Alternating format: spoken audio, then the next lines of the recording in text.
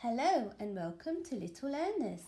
This week we have been learning the sound g, g, g, g, g, g. The letter G makes the sound g, g, g.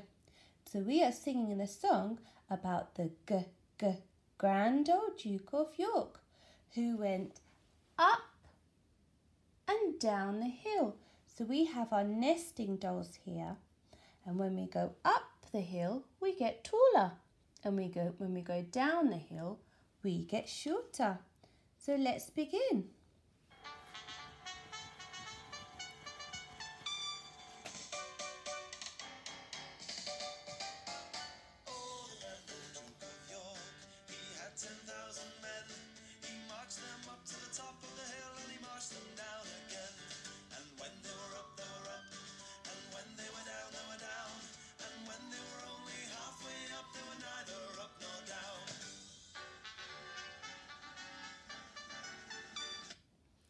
We hope you like singing the song, the G G Grand Old Duke of York, and going up and making your bodies nice and tall, and then going down and making your body short, just like Marvin.